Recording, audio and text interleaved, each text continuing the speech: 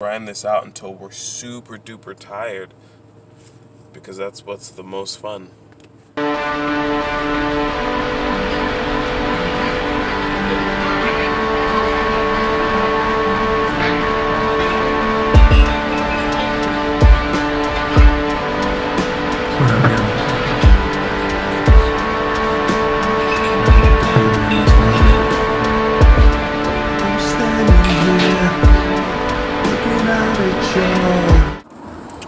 What's up, guys? Uh, Kinyo here. I just wanted to say I'm super glad that my parents uh, got me working young. You know, from the time when I was a little kid, I would go to my dad with most of his jobs. You know, because well, um, for a period of time when my mom was in dental school, uh, I would go with my dad to most of his jobs. And I always thought it was fun, you know, like I would have something to do. My dad did landscaping for a while. Um, a landscaping. Well, not for a while. He did it for a, a church um, that we went to, and um, I would go with him. And I don't even know if I'm supposed to say this if it's illegal, but I got really used to landscaping, and then we got a, a, a larger house um, after later on in life, and we had a, a, lot of landscaping we did ourselves, and I did a lot of that. You know, on weekends I was also helping my dad with irrigation. I think it's cool when you're like a young kid to be able to. For me, I love doing adult level, like figuring out adult problems.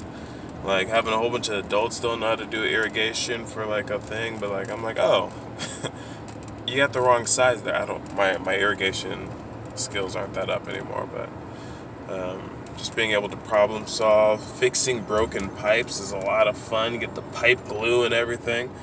Um, mopping floors at different jobs. I think my dad worked at a laundromat um, once. I remember they've had more jobs than I can even count. I'm sure I get my my love of all things from them. But um, yeah, I'm glad they that I, my parents taught me to work young because I think it let me know that it taught me to see work as play because it's never ever for me about how hard I'm gonna work. I'm gonna work super hard because I like figuring out ways to not have to. I mean, to either do something really well or to not have to do something that doesn't need to be done. So, really, when I work, I go for broke. You'll always catch me after hours on something because I the way that I do stuff is from more of like a kid's kind of point of view. It's like, yeah, let's get in this and let's like let's grind this out until we're super duper tired because that's what's the most fun. Anyway, still recording. I'm scooting around today. I'm not gonna try to explain my circumstances. Just wanted to make that video for you guys. Um, yeah.